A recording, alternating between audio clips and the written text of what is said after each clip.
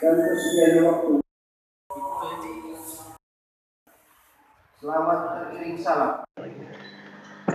Bertempat di Masjid Al-Furqon, Beria Selatan, pemerintah Kabupaten Oku Selatan melalui bagian kesejahteraan masyarakat atau KESRA mengadakan pembukaan pelatihan manajemen masjid Kabupaten Ogan Kemering Ulu Selatan Rabu 21 November 2017 yang dibuka langsung oleh staf ahli bidang pemerintahan hukum dan politik Arson Abadi SKM MSI dan dihadiri oleh para kepala OPD, para camat, dan perwakilan pengurus masjid 19 kecamatan. Dalam sambutannya, Kepala Bagian Kesejahteraan Masyarakat Kabupaten Oku Selatan, Dr. Andes Haji Zakwani menyatakan, tujuan dari dilaksanakan kegiatan ini adalah untuk menumbuhkan komitmen pengurus masjid untuk secara sungguh-sungguh bisa mengurus masjid dengan amanah dan produktif, menciptakan pengurus masjid yang handal baik dari sisi kepribadian, wawasan, maupun kemampuan manajerial, dan memperkuat jalinan kerjasama antar pengurus masjid. Selain itu, staf ahli bidang pemerintahan hukum dan politik,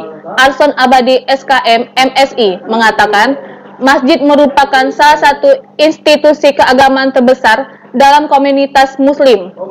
Keberadaannya tersebar di hampir seluruh wilayah Kabupaten Oku Selatan.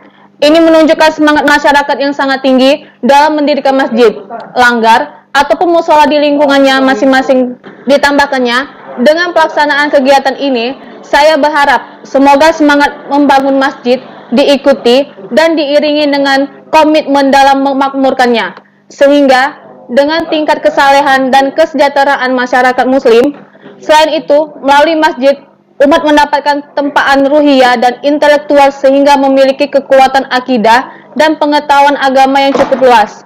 Dalam konteks ini, masjid sebagai pusat pembinaan umat harus dikelola dengan baik dan profesional. Pada pelatihan masjid ini agar masjid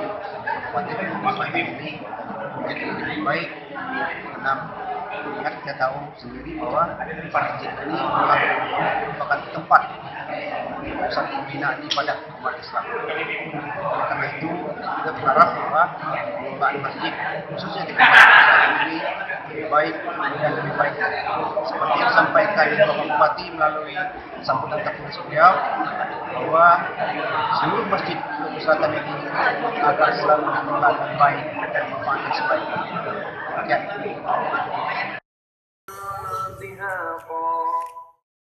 Setelah pembukaan acara tersebut, dilaksanakan juga foto bersama. Tim Infokus TV melaporkan.